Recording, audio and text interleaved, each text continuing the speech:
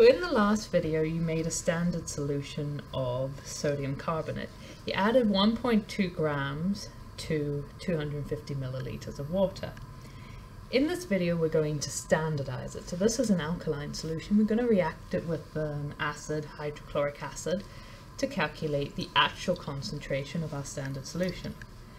So to do this, we're going to take 25 milliliters and put it into different conical flasks. I'm just going to do one but you'll have to do at least three for an accurate result. So I gave it a little mix just to ensure it's well homogenized.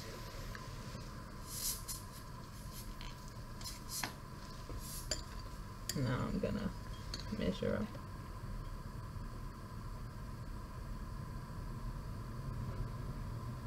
Twenty-five milliliters.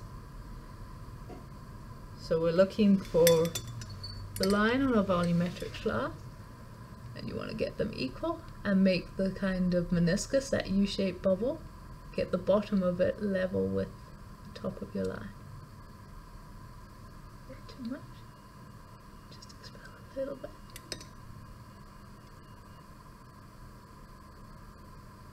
Oh, that's 25 milliliters. I'll just put it into the conical flask shut this and move it out of the way.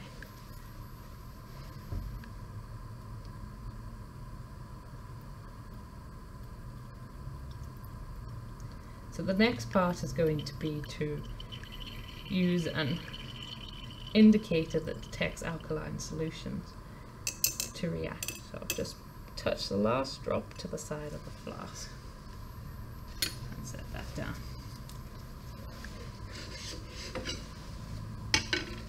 For the titration, we're going to be reacting our sodium carbonate solution with hydrochloric acid. I'm just going to fill my burette with the hydrochloric acid. So drop it down. The hydrochloric acid I'm using is 0.0 oh, 0.5 molar. No hazards associated with this, but still just be careful. I've checked my tap is closed. I'll start to fill up. You don't have to fill it all the way to the zero mark, as long as you just take note of where the the burette reading before you start your titration.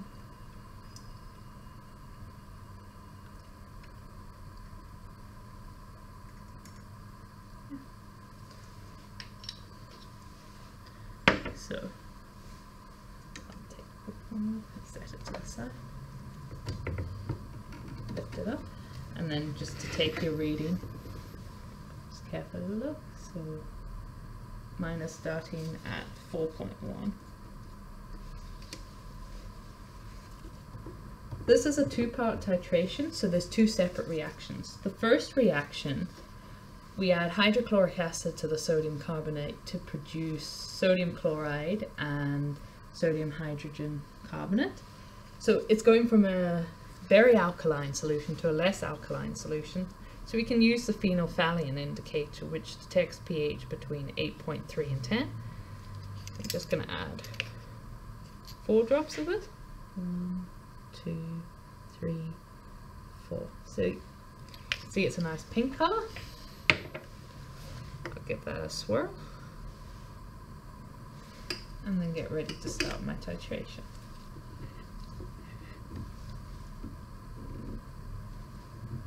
Use one hand to operate the tap and the other one just to swirl. Now the end point for this reaction, we're looking for a colorless solution.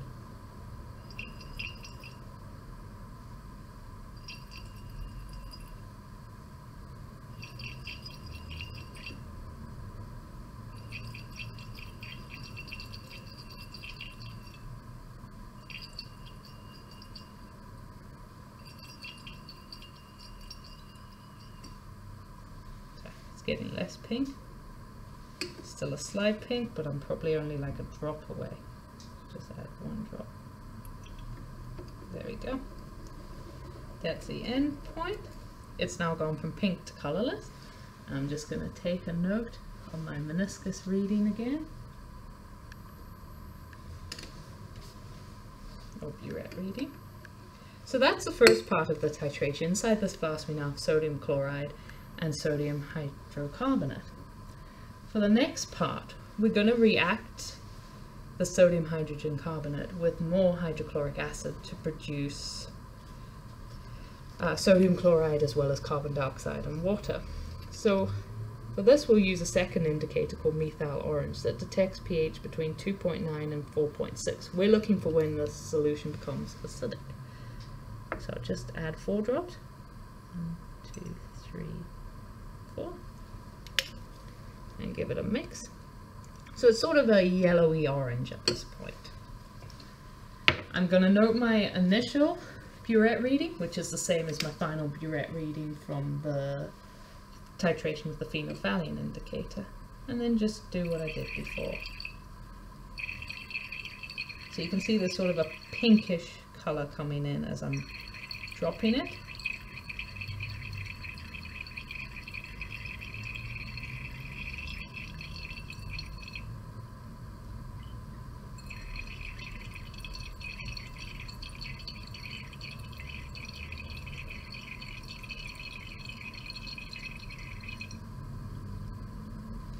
And now it's a pink red color. So that's our endpoint for this titration. And again, I'm just going to note the final titer. And we can use this once you've done your repeats to calculate the actual concentration of the standard sodium carbonate solution that you made.